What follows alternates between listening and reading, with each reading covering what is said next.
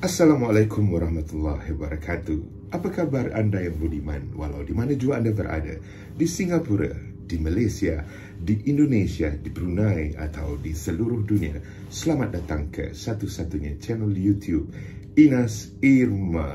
Baiklah, kepada yang masih baru dengan channel ini, mohon untuk di-subscribe agar channel saya boleh berkembang dengan lebih maju lagi. Kepada yang dah subscribe, dah komen, dan selalu hadir ke channel ini. Saya ucapkan ribuan terima kasih dan saya berasa sangat bersyukur kerana mendapat sokongan dan support dari anda sekalian.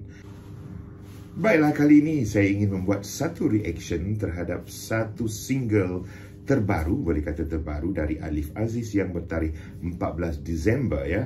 Uh, lagu berjudul Taubat uh, Alif Aziz Fit Syarul. Uh, lagu ini adalah hasil ciptaan Yazri Malik dan lirik juga oleh Yazri Malik. Jadi tanpa melengahkan masa, jom kita terus saja ke lagunya Bismillahirrahmanirrahim.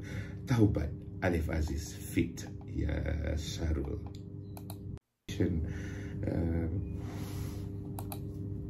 Rabbana atina fi dunia dengan melodi lain itu. Allahu Akbar. Saya Oh, this is so nice. So beautiful. Lagu Taubat Alif Aziz Fit Syarul. Thank you composer Yazri Malik. Thank you lyricist Yazri Malik ya, penulis lirik dan komposer. Yazri Malik sangat membuatkan sanubari saya secara pribadi dan mungkin anda yang lain mendengarnya tersentuh. Astaghfirullahaladzim Masya Allah Indahnya.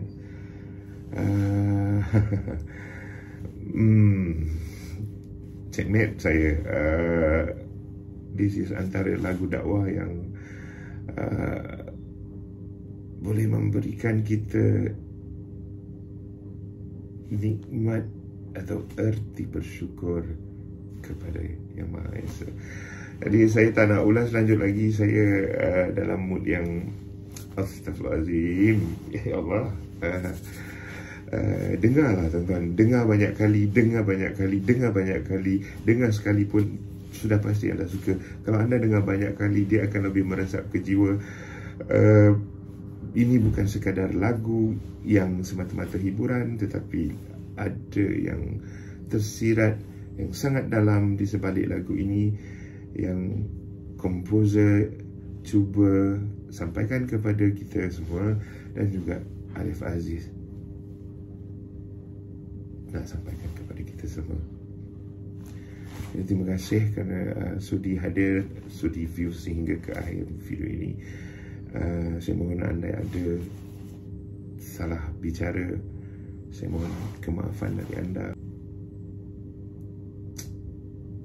Sehingga kita berjumpa lagi di reaction yang akan datang.